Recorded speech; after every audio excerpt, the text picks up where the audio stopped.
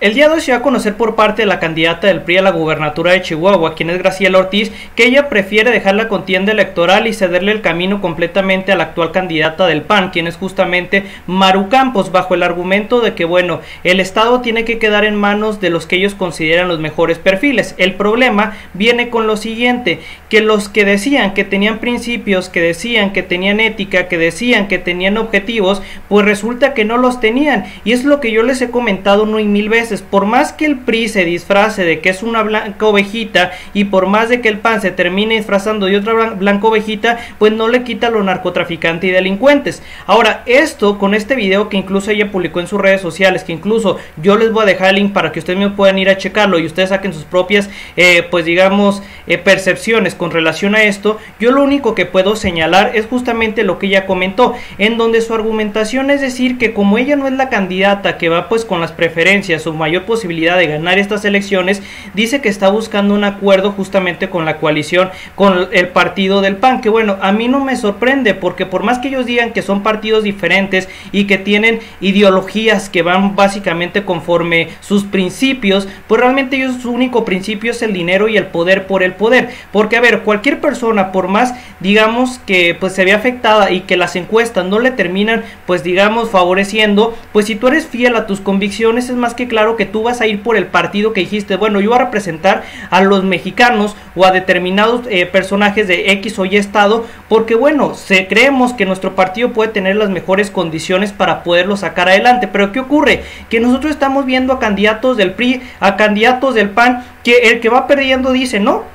yo me voy a ir para el que va, va a intentar ganar. Y eso está mal, porque, a ver, Es muy sencillo, disculpen, es bastante, bastante sencillo. Imagina que tú eres una persona que a lo mejor tienes determinada afición hacia un partido político y no solamente hacia el personaje que va a competir por esas elecciones. Y de la nada, este mismo te sale con el cuento de, pues yo no voy a dejar la candidatura, que incluso es uno de los argumentos que ella sacó. Ella dice, yo voy a seguir como la candidata del PRI, no voy a dejar la gubernatura, pero lo que les estoy pidiendo es básicamente que voten por el PAN. Ese es el tipo de tonterías que a mí me dejan más que claro que entonces lo posición es muy, muy carente de, un poco de razonamiento o simplemente está viendo lo que mejor le convenga en cuestiones, en cuestiones monetarias, pero solamente a su partido y solamente a sus bolsillos, no a los mexicanos. Porque ya le he dicho, alguien que tiene principios independientemente si las encuestas o no le favorecen, pues tendría que quedarse y competir hasta el punto en el que vea que, bueno, es la mejor de las opciones, eh, por lo menos tener la dignidad y decir, bueno, yo iba con tales ideales, iba con tales principios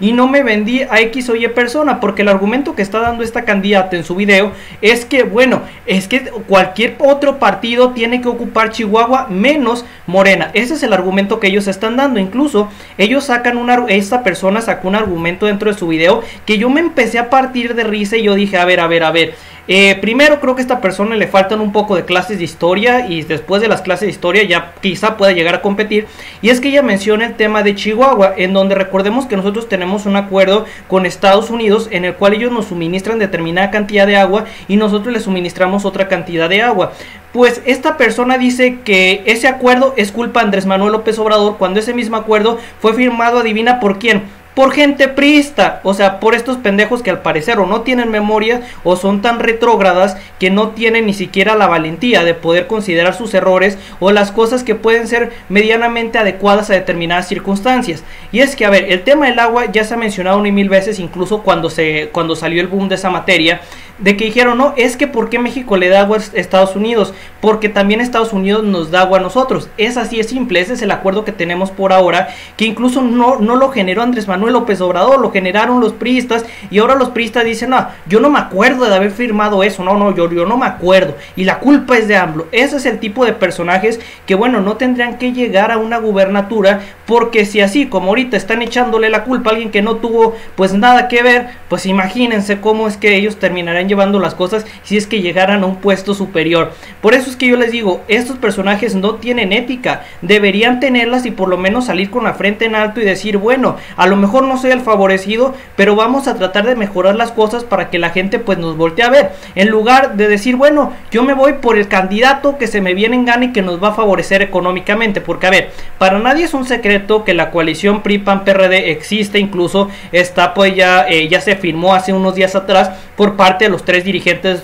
partidos, que es Marco Cortés, Alito Moreno y Zambrano, en el cual ellos formaron este bloque opositor en el Senado y que bueno, también lo están generando en determinadas entidades y que ellos conocen como voto útil. Voto útil es una falacia que surgió justamente de todo lo antidemocrático en la nación. ¿Por qué digo que todo lo antidemocrático? Porque ellos dicen, bueno, sabemos que somos una escoria, sabemos que somos unos inútiles, pero en lugar de mejorar esas cosas o erradicar el que un, un partido político sea inútil, inservible, dicen, no, yo me junto con otro partido político inútil, inservible. Eso, pues eso no, no soluciona las cosas en un país, no soluciona las cosas en una nación, no soluciona las cosas en un estado, no soluciona las cosas en una alcaldía. Pero eso es lo que está viendo al parecer estos panistas. Y yo los invitaría a que mínimo razonen. La razón por la cual la oposición en nuestro país está valiendo, ya saben que, es por algo tan sencillo que no están actuando a lo que está solicitando los ciudadanos. ¿Qué es lo que están solicitando los ciudadanos? Dejen de ser tan pinches ratas y delincuentes. Porque nosotros no pedimos coaliciones de inútiles con otros inútiles. Entonces, eso es lo que les está pidiendo la sociedad. No les está diciendo que se junten con cualquier tarado que vean pues a la más mínima cercanía qué es lo que ocurre con esta persona candidata de, del PRI a la gubernatura de Chihuahua. Y yo lo he dicho, están tan desesperados porque incluso las encuestas ya están mencionando de que hay un empate técnico en, en la parte de, Chihuahua, en el, tema de los candidatos, con la, el personaje del PAN que es Maru Campos y el candidato de Morena en esa entidad. Por tal hecho es que ahorita los priistas dijeron, no, no, no, no, ¿cómo nos van a quitar los millones de pesos que nos robamos de esa entidad? Pues perfecto, nos vamos otra vez en coalición. Y es que yo se los he dicho, el principio no existe en estos partidos. El principio que ellos tienen se llama dinero y el dinero pues por desgracia, no parte de un principio, de una ética o de valores, parte de que a ver a quién se pueden chingar mejor para ellos obtener el beneficio. Por eso yo se lo repito, creo que la forma en que están actuando estos partidos de oposición, más que actuar a favor del pueblo, están actuando en contra de los mexicanos. Porque lo que la gente pide es políticos que hagan bien su trabajo y no pide coaliciones inútiles que solamente estén llenos de más inútiles. Eso no está pidiendo los mexicanos. Por tal motivo es que, que, el día de hoy esta candidata se escude diciendo es que tiene que llegar cualquier otro partido menos Morena.